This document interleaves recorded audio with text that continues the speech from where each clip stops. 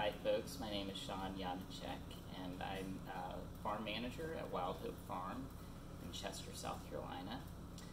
And I've been working here for two years now. Been farming for about 23 years, uh, various places uh, across the United States, and uh, been lucky enough to land here at Wild Hope Farm. And we have been doing a lot of interesting and innovative techniques. Some of them I'd like to share with you. Um, and what I'm going to focus on today is some of our no-till techniques, which save us a lot of time and money and help us with insect and disease problems. It's, it's quite the lifesaver for the farm. So love to show you some of the things that, that